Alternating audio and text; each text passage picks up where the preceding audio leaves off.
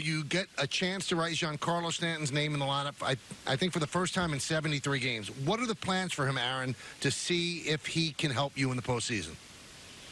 Um, well, now it's play and, and try and rack up some innings and at bats. Obviously, um, feel like he's been doing really well and, and, and building some really good momentum here physically over the last few weeks.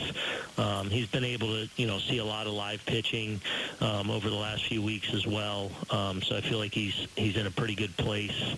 Um, you know, sw- swinging the bat, and, and, and over the last couple weeks where he's been getting a lot of outfield reps and and up in his agility and and, and that stuff. So.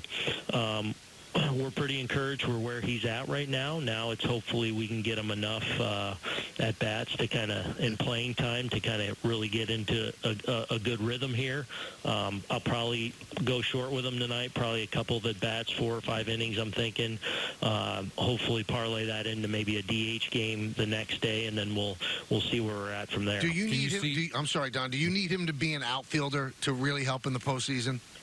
I mean, that's that's the hope. Yeah, I mean, and, and that's the plan. And um, you know, he's he's been working really hard to get back to that point defensively, and um, you know, hopefully, uh, that's my hope and that's my plan moving forward. But you know, again, first things first. And if the season taught us anything, it's it's you know, we got to wait and see it, and and then we'll we'll adjust if we have to accordingly. Do you have all 10 games to work with him, or would you maybe want to piecemeal a little bit because he's been out so long?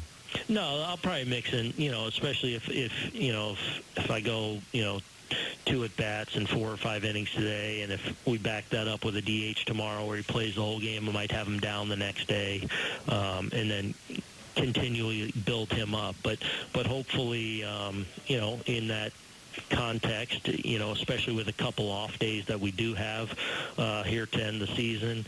Uh, hopefully, he's playing uh, pretty much all the games from here on out in, in some way, shape, or form, and, and able to rack up, you know, wh- whether it's 25, 30 at bats, whatever it might be.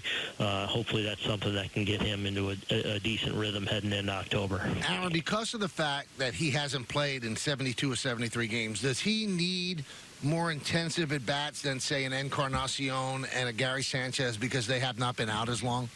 Yeah, maybe. Um, the one thing with G is uh, I do feel like he's faced a lot of pitching, you know, albeit, you know, obviously not playing games in the big leagues and doing that, but he's faced a lot of pitching. So I feel like hitting-wise, I feel like in his mind he's in a pretty good place right now.